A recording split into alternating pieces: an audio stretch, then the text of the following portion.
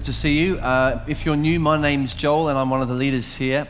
If you're new here, we've been doing a long series of messages from the book of Samuel, and uh, I'm going to read chapter 29 and the first chunk of 30. And uh, we're getting through it now. We're getting very near the end, closer and closer to the end of this amazing book. And uh, I'm going to just look at one aspect of David's career at the very close of the life of King Saul. And I'll read to you from verse 20, sorry, chapter 29, verse 1. Now the Philistines had gathered all their forces at Aphek, and the Israelites were encamped by the spring that is in Jezreel, as the lords of the Philistines were passing on by hundreds and by thousands. And David and his men were passing on in the rear with, the, with Achish. The commanders of the Philistines said, What are these Hebrews doing here? And Achish said to the commanders of the Philistines, Is this not David, the servant of Saul, king of Israel? Who has been with me now for days and years, and since he deserted to me, I have found no fault in him to this day. But the commanders of the Philistines were angry with him. And the commanders of the Philistines said to him, Send the man back, that he may return to the place to which you have assigned him. He shall not go down with us to battle, lest in the battle he become an adversary to us. For how could this fellow reconcile himself to his Lord? Would it not be with the heads of the men here? Is not this David of whom they sing to one another in dances? Saul has struck down his thousands, and David his ten thousands. Then Achish called David and said to him, As the Lord lives, you've been honest, and to me it seems right that you should march out in with, with me in the campaign. For I have found nothing wrong in you from the day of your coming to me to this day. Nevertheless, the Lords do not approve of you. So go back now and go peaceably that you may not displease the lords of the Philistines. And David said to Achish, But what have I done? What have you found in your servant from the day I entered your service until now, that I may not go and fight against the enemies of my lord the king? And Achish answered David and said, I know that you are as blameless in my sight as an angel of God. Nevertheless, the commanders of the Philistines have said, He shall not go up with us to the battle. Now then, rise early in the morning with the servants of your Lord who came with you, and start early in the morning, and depart as soon as you have light. So David set out with his men early in the morning to return to the land of the Philistines. But the Philistines went up to Jezreel. Now, when David and his men came to Ziklag on the third day, the Amalekites had made a raid against the Negeb and against Ziklag, and had overcome Ziklag and burned it with fire and taken captive the women and all who were in it, both small and great. They killed no one, but carried them off and went their way. And when David and his men came to the city, they found it burned with fire, and their wives and sons and daughters taken captive. Then David and the people who were with him raised their voices and wept until they had no more strength to weep. David's two wives also had been taken captive. The Ahinoam of Jezreel and Abigail, the widow of Nabal at Carmel. And David was greatly distressed, for the people spoke of stoning him, because all the people were bitter in soul, each for his sons and daughters. But David strengthened himself in the Lord his God. And David said to Abiathar the priest, the son of Ahimelech, Bring me the ephod. So Abiathar brought the ephod to David. David inquired of the Lord, Shall I pursue after this band? Shall I overtake them? He answered him, Pursue, for you shall surely overtake and shall surely rescue. So David set out, and the 600 men who were with him, they came to the brook Besor, and where those who were left behind stayed. But David pursued, he and 400 men, 200 stayed behind, who were too exhausted to cross the brook Besor. Let's just pray together. Father, we thank you for this book. We thank you for the opportunity to gather, and we thank you for your wonderful love for us. We thank you especially for your wonderful Son, the Lord Jesus Christ. We pray that as we look in the pages of Scripture today, it will be His face that we'll see. It will be His life that will attract us and draw us after Him. And we pray that by your Holy Spirit, Lord, you will cause us to have a bigger and a greater view of our Lord Jesus, and so a, a fuller and a greater faithfulness to Him and fruitfulness for Him, Lord. We pray all these things according to your mercy. In Jesus' name, Amen. Amen. Well, David, if you were with us last week, you'll know, uh, has failed at this point in a, in a very spectacular way. He deserted Israel, went over to the Philistines to save his own neck. He was so tired of running away from the king of Israel, which he'd been doing for years, that he thought, well, the best thing for me is to just run away and join this King Achish in Philistia.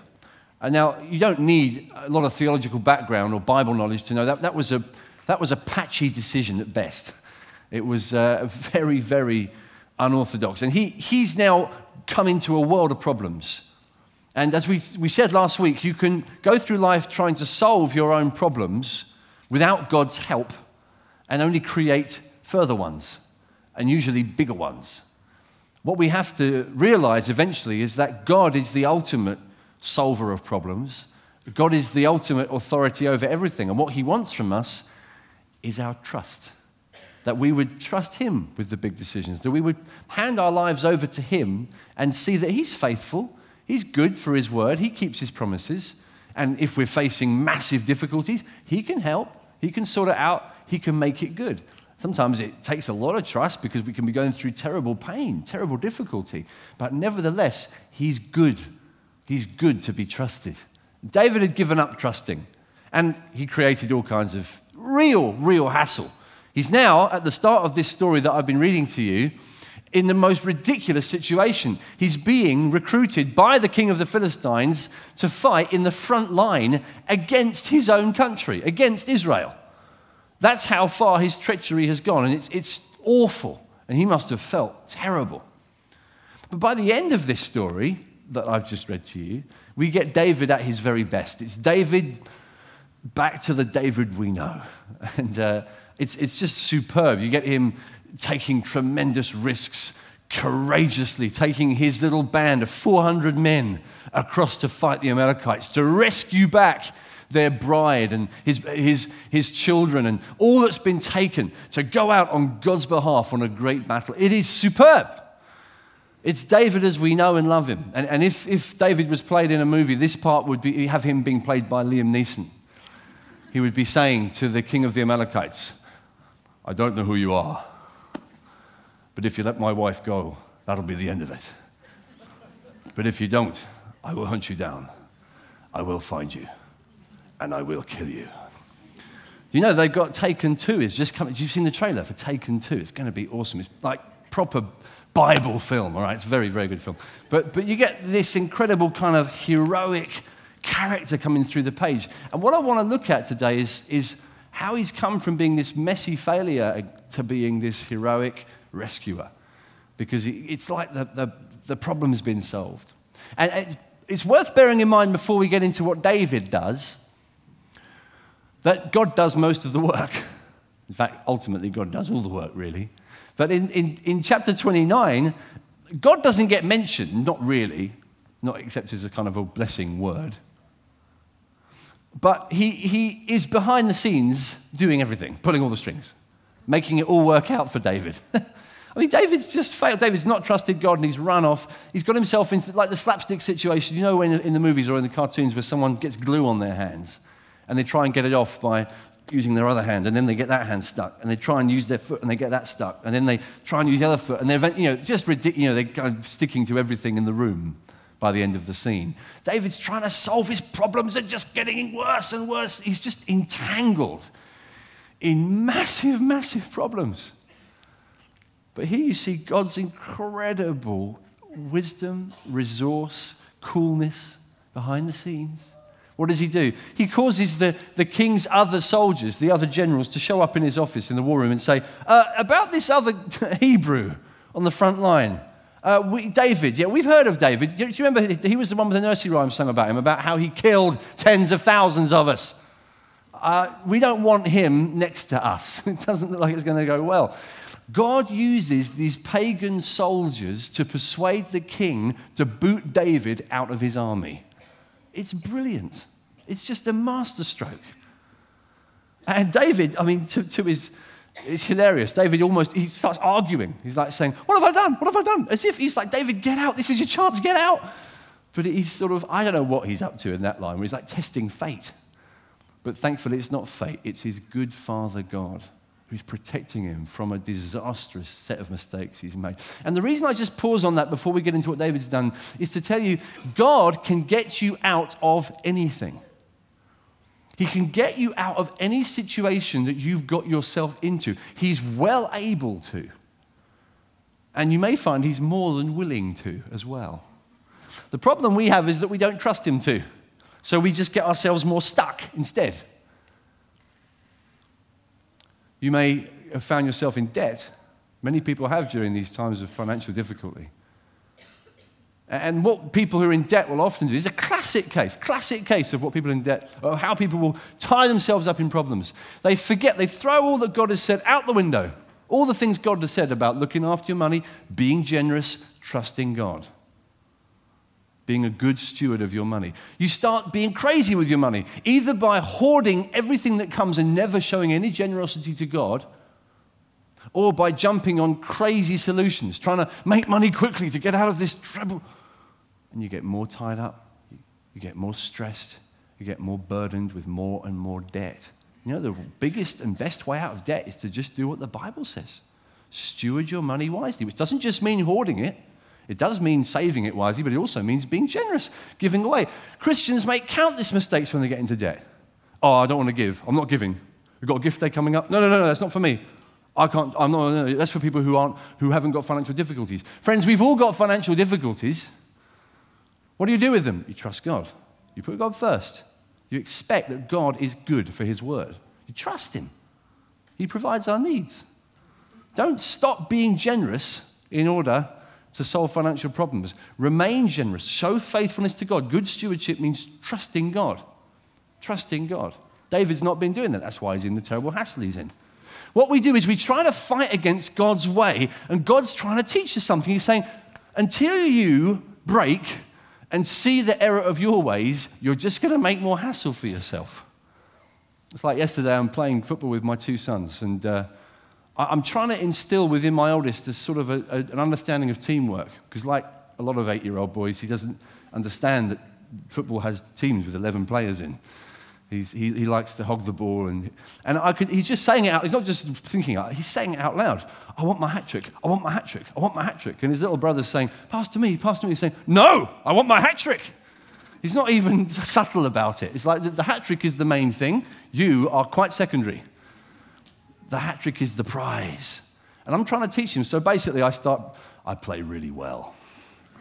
He doesn't, I just won't let him score against me. I'm, I'm, I'm, it's those two against me, and I just won't let him score. And I'm, trying, I'm saying to him, pass to your brother. He went, right, you won't pass, right, fair enough, I'm just going to stop you scoring. As soon as he starts passing, as soon as he starts sharing the ball, that's when I'll do the dad thing and start playing really badly. You, know, you know what dads do? Oh, no, oh, oh, how hard it is, oh, how difficult. Not going to turn that on until you start passing. That's what your Father in heaven is like with you. If you start learning the things he's trying to teach you, he's not going to open things up for you. He's not. He might behind your back, but you won't even notice. He's always good. That's what he's doing for David in this story. But David isn't aware. David's oblivious.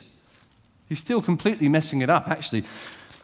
And that's why he has to get to this crisis point in chapter 30 where he comes back after being released from the terrible, shameful situation to Ziklag. And it says, when David and his men came back to Ziklag on the third day, the Amalekites had made a raid against the Negeb and against Ziklag, and they had overcome Ziklag and burned it with fire.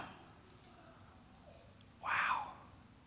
Now, that's a different kind of move on God's part. God, with his great wisdom. One master stroke was to get David set free from the Philistine army. Now is his other master stroke, although at first it certainly doesn't look like a heavenly master stroke, does it? It looks hideous. His, his wives, I mean, he shouldn't be a polygamist, but just, just hold on for a sec. This is be people he would have treasured. David had a big loving heart, you know. He's lost his his family, he's lost, he's lost his possessions, he's lost his city. This has been the place for him. It's been his home, it's been his security, the place he stayed and built community, hung out night and day with his brothers and companions and soldiers and built a home for themselves. This is our safety, this is our comfort. And we come home and find that God has stripped us of it. but this is God's hand. Because God will sometimes resort to something quite dramatic to get your attention. God will sometimes allow something in your life that you've leaned on for support to be pulled away. It's like He'll strip you down, He'll burn your Ziklag, burn it to the ground. The thing that you've leaned on for comfort and safety. You feel, oh, this makes me feel safe. This, I, I, it's like a, a, a security blanket. This is what gives me a sense of provision and security in the world. And God is capable of simply removing it quite quickly, quite suddenly. What's God doing in David's life? I think David has been drifting, drifting for a long time, drifting away from faith.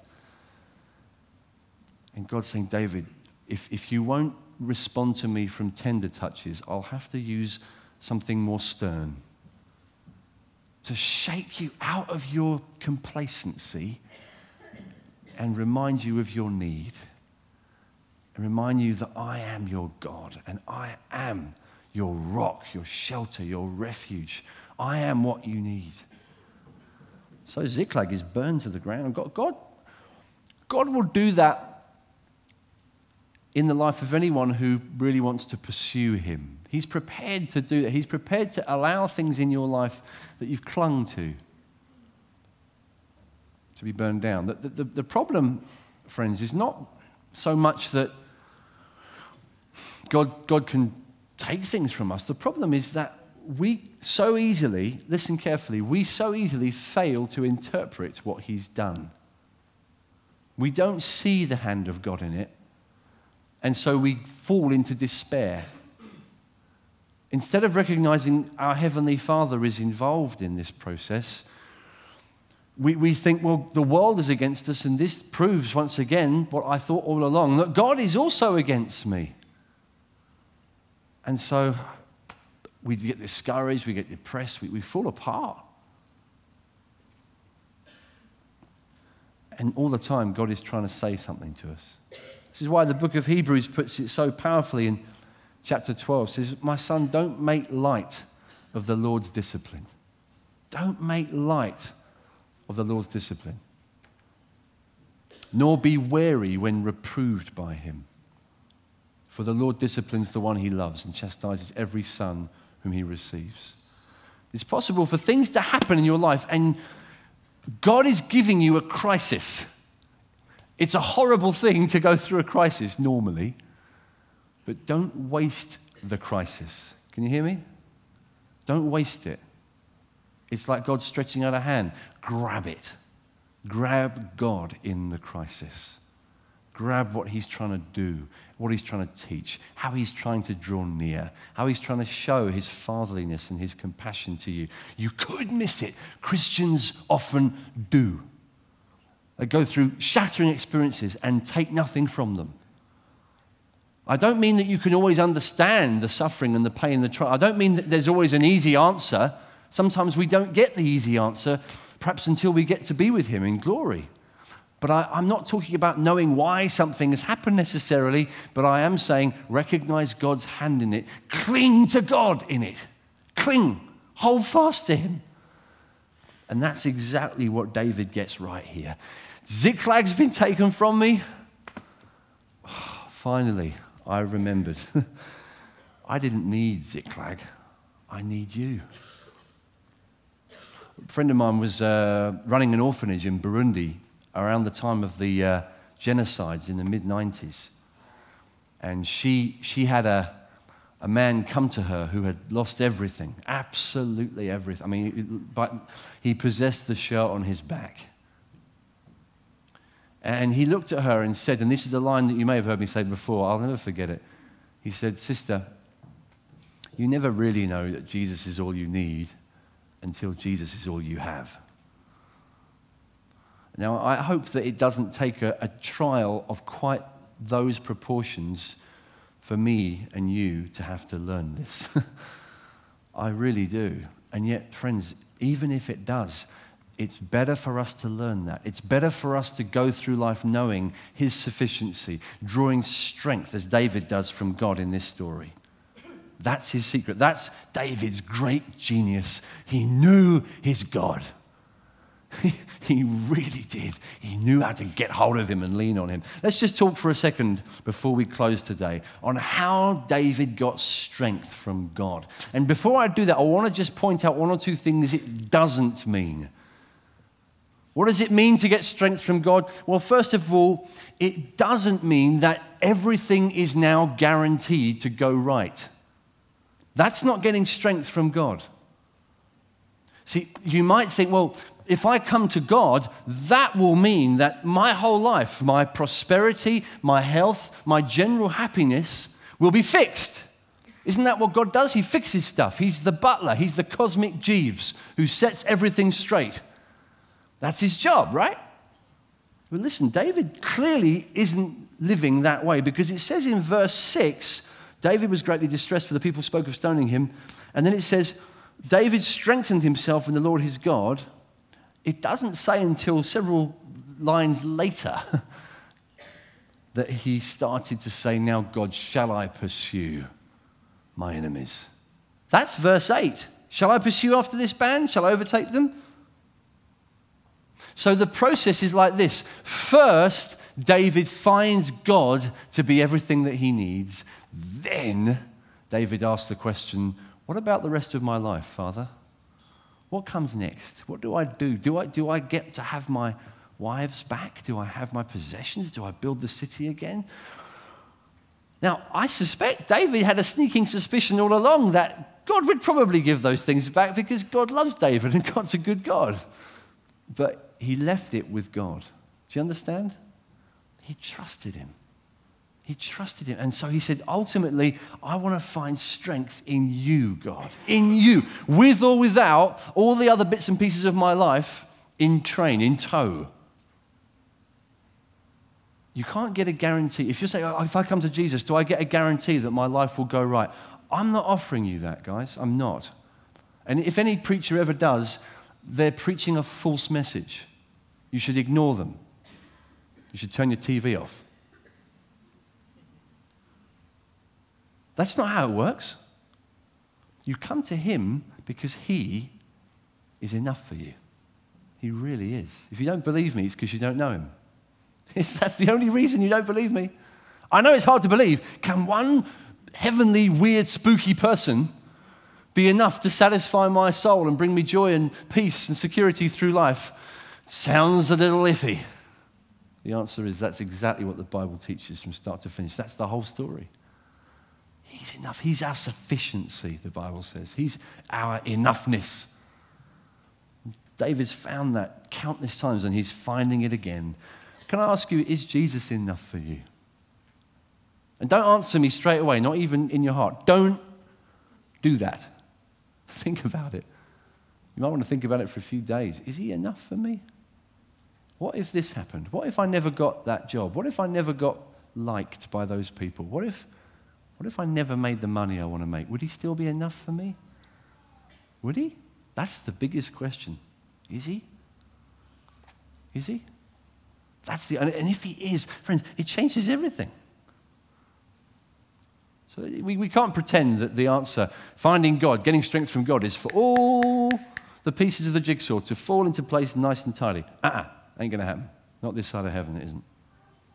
But what does it also not mean? It also doesn't mean just having a good cry. It doesn't just mean emotional experience. I found strength in God. I had a moment in a meeting where I just cried and cried, or, or I, I was praying on my own and just had a tremendous emotional experience, just got, kind of got flushed through. I just, I just had a good old cry. It just feels so much better. I feel so much better now, so everything's fine. Now, hear me, that's still important, okay? I'm not saying the emotional part isn't important. God's made you to experience pain and pleasure and to process grief and mourning in a genuine way. Friends, this is very real. It's absolutely appropriate that David sat down and cried, as it says, until he had no strength left to cry. God's made you to, to carry and experience emotions, to process them with Him. It's so important, friends, that we deal with life in a real way. Jesus was like that. Jesus knew what it was to walk into a place, see a city of lost people before him, and break down in tears. If you say that's not manly, it's because you haven't met the greatest man that ever lived Jesus himself. Don't, don't, don't push that side away. That's part of the Bible. That's what it teaches. But listen, it isn't the same as finding strength in God. How do I know that? Well, very simply, David did that early on in verse 4. Wept until they had no more strength to weep. It's not till verse 6 that it says David strengthened himself in the Lord his God. Meanwhile, between those two events, the emotional breakthrough and the powerful breakthrough of finding strength in God, the other soldiers who were also involved in the, um, in the massive outpouring of emotion, in the you know, steel cage of emotion, if you like, in that very moment, they are plotting to kill David. It says, verse 5, oh, sorry, verse 6. David was greatly distressed for the people spoke, which is kind of weird, don't you think? If, if just having a good cry was the way to meet God and gain strength from God, that wouldn't ha- it wouldn't be, they, they would not be doing that.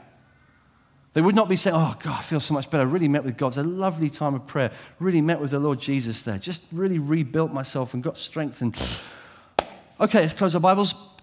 Who's for killing David? Let's kill David, shall we? Of course you would. No, no, no. Something is missing here. You can have a powerful emotional experience, and I've seen this you probably have too. And if you haven't seen it, watch for it, especially in yourself. You can have an emotional experience and not change one jot. You can. I've seen it so many times. We watch people in meetings. We have meetings where, oh, did you see people are crying in that meeting? That's significant. Yeah, it's not insignificant, but it's not the same thing as God changing people's lives. It can be a part of it, it can be a sign of it, but it's not the same thing. Be careful how you judge people's emotional shilly shallies. You hear my heart? You hear my, what I'm saying this, friends? Be careful. There's something more to press in for than a few tears, much more substantial. So it's not just emotion. Neither is it just fellowship. In fact, David's got no one to fellowship with. The only people he's fellowshipping with want to kill him. That's not fellowship, by the way, just so you know. That's not community. That's not the kind of church we're trying to build. His best friend, the guy that he got real fellowship with, he hasn't seen for years, Jonathan. The guy who used to come and strengthen his hand in God, he's not around.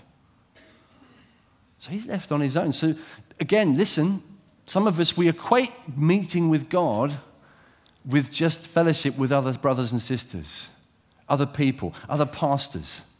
I need to go and see this person, talk about my problems. I need to go and see that person, talk about my problems. I need to go and see her or him and talk about my problems.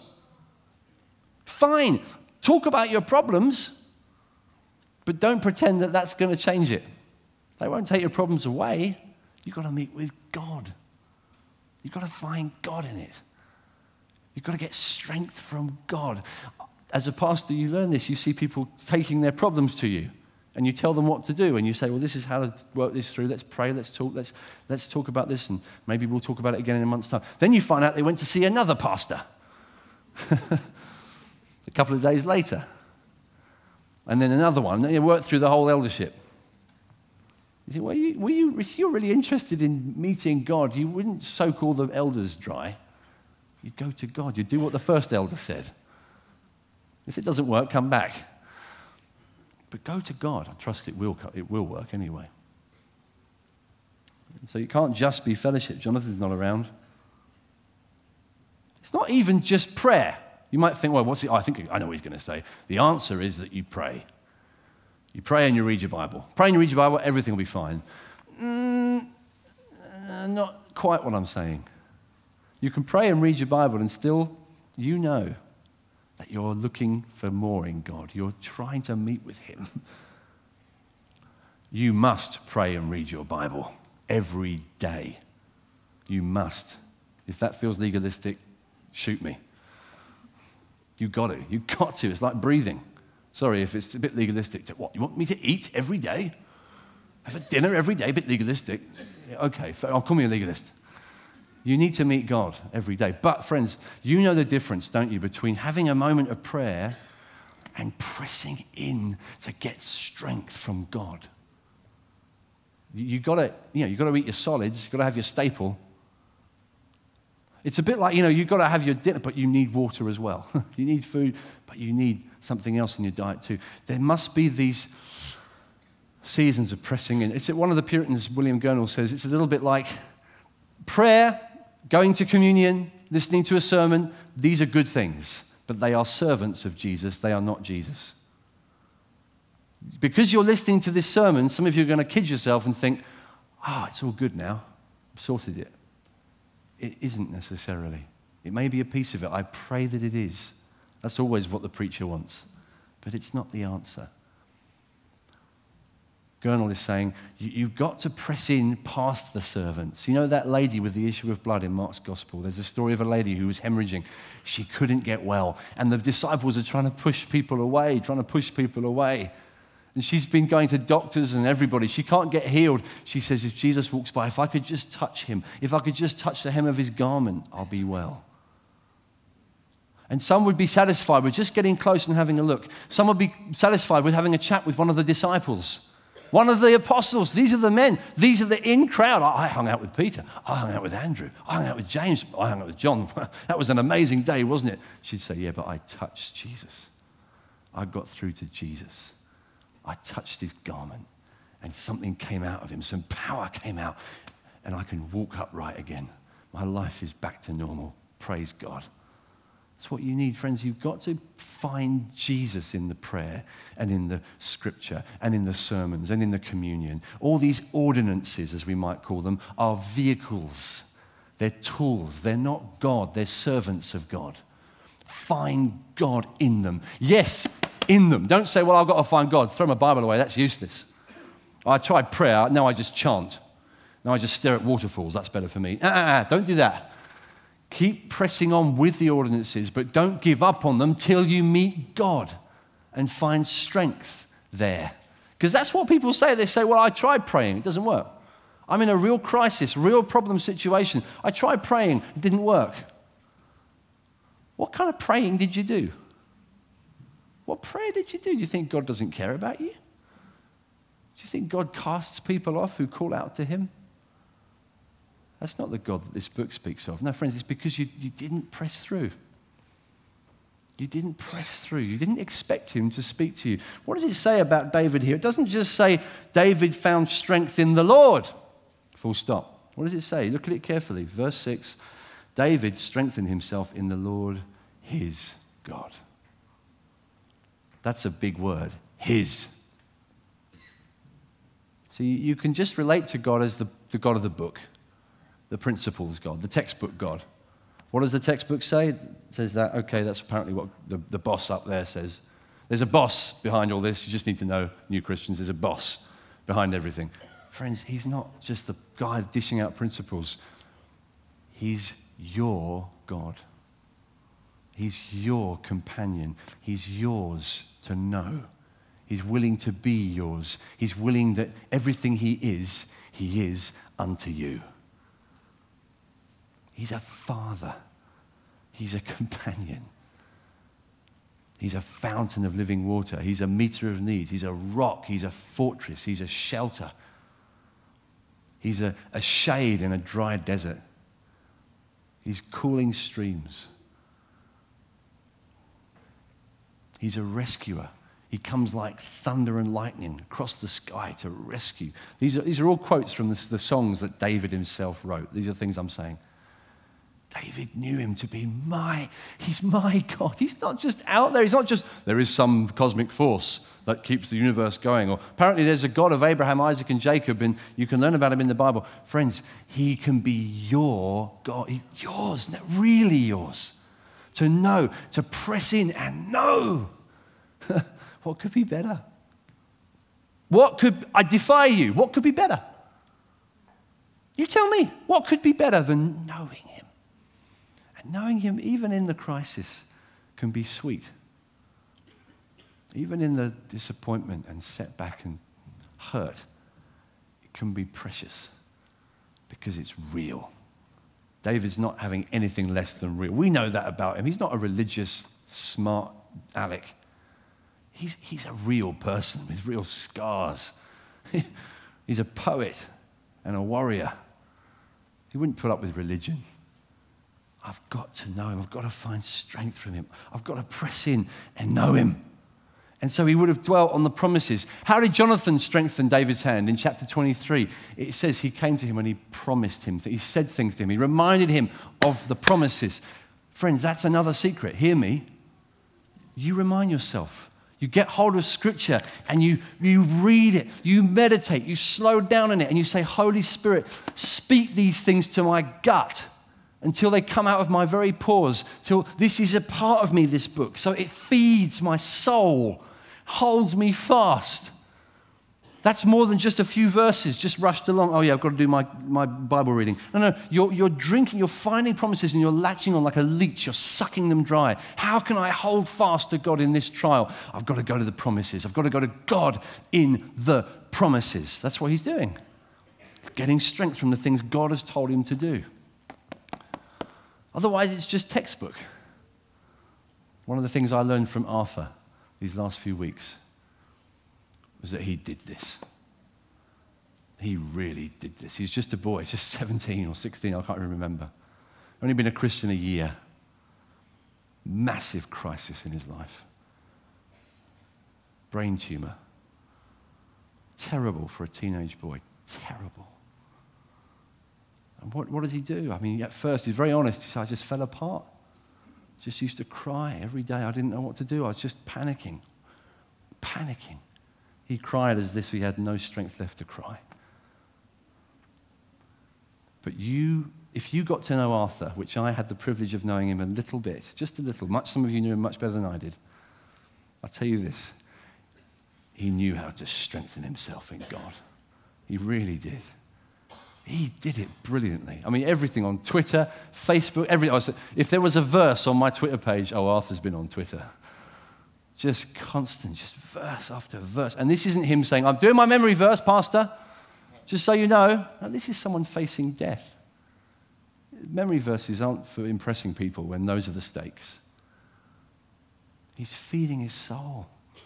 He's getting strength because he knows the enemies are real. There are real Ziklags. There are real crises, friends. There are real, aren't there? There are hideous things that come our way. You've got to get strength in God. You've got to find Him, not religiously, but press into Him. Take these scriptures and let them hold you fast. It's like Paul says in 2 Corinthians chapter 12. With all of his brilliance and greatness, he knew that he could get proud. And so God gave him this. We don't know what it was. We don't, no one knows what it was. God gave him this thorn in the flesh. Could have been a disease, could have been a difficult person. We don't know.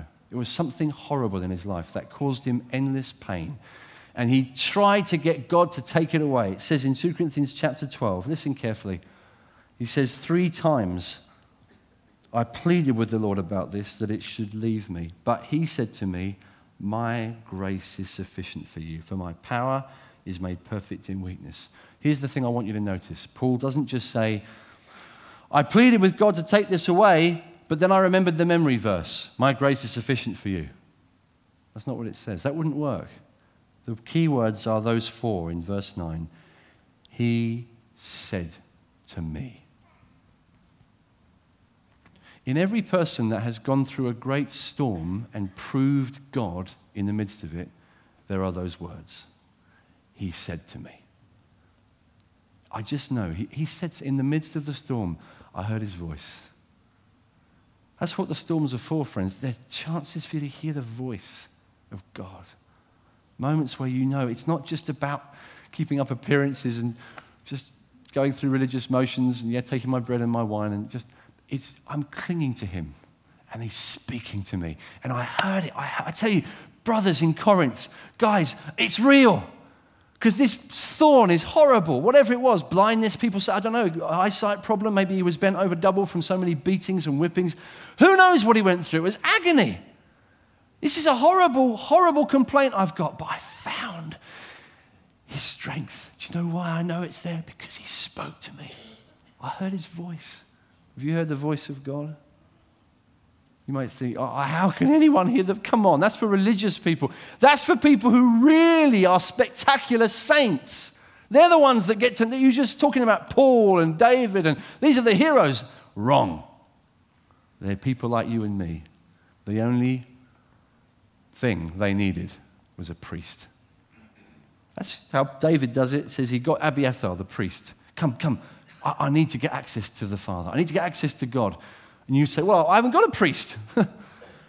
How do you find a priest in, in, in, you know, I mean, a Jewish high priest slaughtering animals and all the rest? We don't do that in England. How do you get to God? You come through Jesus Christ. Jesus Christ, when he died upon the cross, he was offering up his body and his blood as a sacrifice so that anybody could come and have access. Not the super uber spiritual people who are off the chart spiritual. Anybody can come because Jesus has paid the price.